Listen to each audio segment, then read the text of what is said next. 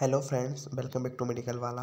तो दोस्तों, नीट 2023 के रजिस्ट्रेशन को लेकर जो मतलब न्यूज़ आ रही है कि नीट यूजी 2023 जो है, उसका रजिस्ट्रेशन स्टार्ट हो गए हैं या फिर नीट यूजी दो बार होगी, है ना? इस तरीके से आप बहुत सारे वीडियोस यूट्यूब पर देख सकते हो और क्या नीट यूजी पोस्टपोन हो रही है है ना? बहुत सारे लोगों के डाउट है इसको लेकर।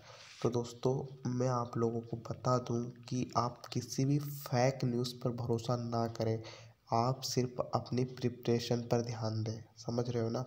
लोगों का काम है व्यू लाना, ठीक है? उनको पता, लोग ये सर्च करें, हमारे वीडियो पर व्यू आएँगे। हमारे सब्सक्राइबर्स बढ़ेंगे। दोस्तों, मैं आपको रियलिटी जो है ना, वो बताना चाहता हूँ। अभी ना ही नीट यूजी के रजिस्ट्रेशन जो है, वो स्टार्ट हुए हैं। ना ही नीट यूजी दो बार होगी, इसके बारे में कुछ अपडेट आया है और ना ही कोई चांस है कि नीट दो हज़ार तेईस पोस्टपोन्ड हो, ठीक है? आप लोगों को जो है सच बताऊँगा, मैं ये नहीं चाहता कि मेरे व्यू आए, मेरे सब्सक्राइबर बढ़े, है ना? मैं ताकि, मैं तो ये चाहता हूँ कि आप लोग सिर्फ़ और सिर्फ़ अपनी प्रिपरेशन पर फोकस करें, है ना? दोस्तों, बिल्कुल किसी भी अफवाह पे ध्यान ना देते हुए सिर्फ़ अपनी प्रिपरेशन पर ध्यान दें। नीट ना ही पोस्टपोन हो रही है, ना ही नीट दो बार होगी, ऐसा कुछ अपडेट आया है, और ना ही नीट के रजिस्ट्रेशन जो है वो स्टार्ट हुए हैं या फिर रजिस्ट्रेशन की डेट आई है है ना? आप लोग को मैं जो भी न्यूज़ दूँगा वो एकदम पूरी तरीके से सही न्यूज़ दूँगा, है ना? अगर आपको ये जानना है ना कि नीट यूजी के जो रजिस्ट्रेशन फॉर्म कब से स्टार्ट होंगे? तो वो कुछ अपडेट अभी आया ही नहीं है।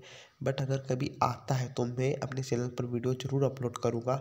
अगर आप लोगों को सिर्फ़ वही जानना है कि नीट यूजी कब स्टार्ट होगी, हमें डायरेक्टली पता चल जाए है ना मतलब रजिस्ट्रेशन का, अगर रजिस्ट्रेशन निकल गए तो आप लोगों का क्या होगा? मतलब सभी का डर रहता है यार, क्योंकि मैं खुद भी नीट का स्टूडेंट इसी के थ्रू जो है B M S B H M S counselling में पार्टिसिपेट कर रहा हूँ। और इस बार जो हमने भी दो तीन बार नीट की एग्ज़ाम दिए तो हम समझ सकते हैं आप लोगों की जो प्रॉब्लम है, ठीक है? तो आप लोग टेंशन ना लो, आप एक काम कर सकते हो आप चैनल सब्सक्राइब कर लो और बेल आइकन प्रेस कर लो।